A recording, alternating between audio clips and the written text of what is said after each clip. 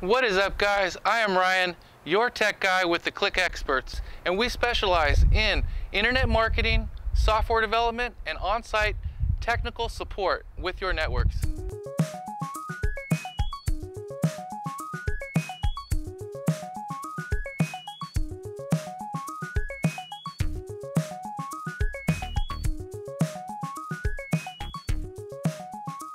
Oh, oh, okay guys, uh, welcome back. Thank you guys for being with us today. We're gonna do a video on the Fluke Networks Pro 3000 toner and also the Pro 3000 probe.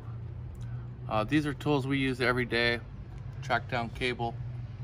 Uh, when you're messing with a lot of cable, it's hard to find which cable is which. So this is the tool that'll actually help you guys do it. I've gone ahead and uh, just put a keystone jack on here. This is a female jack. And um, this will allow us to hook up our toner to it, the cable. And if you were trying to find one uh, specific cable in a large bundle of cable, uh, this is pretty much end to end the, the best way to do it and the only way to do it. Um, this is a great toner because um, you know, even if there's a little bit of electrical interference on this line, this tool will still be able to get a sufficient amount of tone through the cable so you can hear it.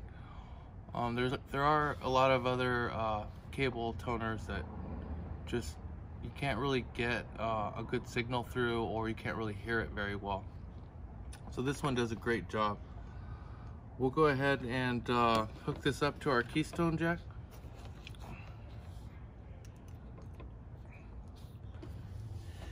And basically you just have off solid alt which is basically gives you two different sound modes. So we'll turn it on.